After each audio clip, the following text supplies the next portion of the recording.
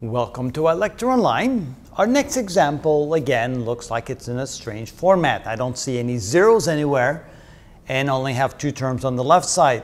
But then again, if we move everything to the left side, if we move the positive 12 to the left, we will have what we would call the standard form.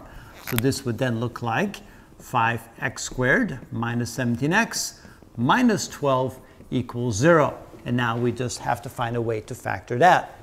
It'll look something like this. The product of two binomials equal to zero, but how do we find those two binomials? Well, we could use the FOIL method.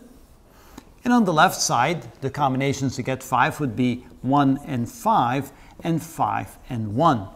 Now notice the signs. We see a negative on the middle and a negative on the third term. That means that one of the numbers must be negative and the other one must be positive. And how do we get 12? Well, we can get 12 by having 12 and 1, 6 and 2, 4 and 3, 3 and 4, and 1 and 12. And 1 must be positive and 1 must be negative. So let's see here. Um, yeah, that could be a little bit tricky, but let's say that maybe all of those are negative and these are then all the positive ones. We don't have to do it twice because we already have all the possible combinations on the left side. So now we need to be a little bit strategic. When I add the two products together, I get a negative 17. So I'm looking for a fairly large negative number. And um, hmm, if I go 5 times negative 4, that's minus 20. That's pretty close. And on 1 times 3, that's positive 3. That just might do it. So I'm going to try this. I'm going to try the combination of 1 and 5 and the combination of negative 4 and positive 3. Now if that doesn't work, we'll try a different combination, but let's see what happens. So we have 5 times a negative 4,